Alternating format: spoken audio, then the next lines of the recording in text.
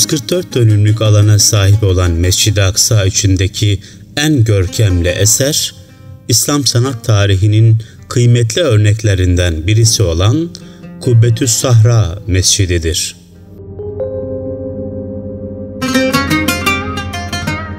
Emevi halifesi Abdülmelik bin Mervan döneminde inşa edilen Kubbetüs Sahra, Mescid-i Aksa hareminin ortasında kuruludur.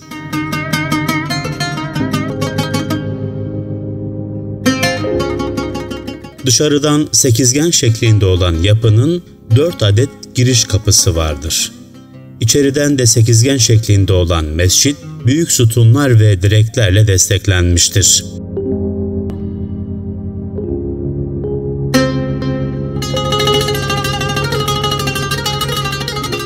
Üstü yarım daire şeklinde altın yaldızlı ahşap kubbeyle çevrilidir.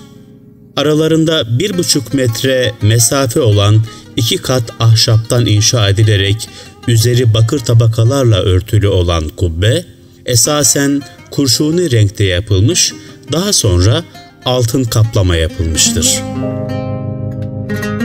Tepesinde bulunan altın kaplama hilal, 2009 yılında TİKA tarafından yenilenmiştir. Kubbetüs Sahra Mescidi'nin 16 penceresi renkli camlar, hat yazıları, geometrik şekiller ve yaprak motifleriyle süslenmiştir.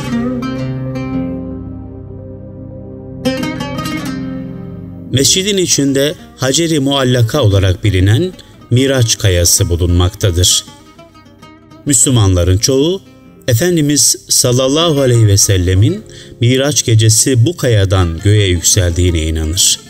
Bu kaya bazılarının zannettiği gibi havada asılı değildir. Kayanın altında içinde mihrab olan küçük bir mağara bulunmaktadır. Mihrabın adı Musalla el-Enbiya, Peygamberler secdegahıdır. Mescitte üç adet mihrap bulunmaktadır. Mağara içindeki mihraptan biri İslam aleminin en eski mihrabı sayılmaktadır.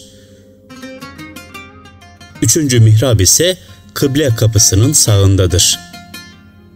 Asırlar boyunca Kubbetüs Sahra'ya çok özen gösterilmiş, restorasyonu ihmal edilmemiştir.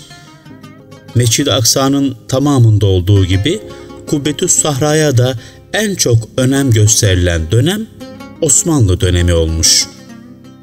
Bu dönemde bazı yenilemeler ve detaylı onarımlardan geçmiştir.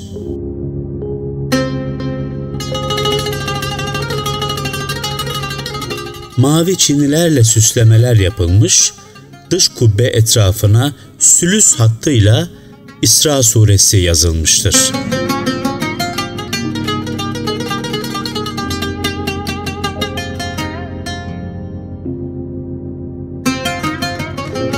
Günümüzde de mübarek Kudüs şehrinin simgesi olmaya devam eden bu muhteşem eser, Mescid-i Aksa'yı yıkarak yerine sözde Süleyman Mabedi'ni inşa etmeyi planlayan Siyonistlerin hedeflerindeki ilk yapıdır.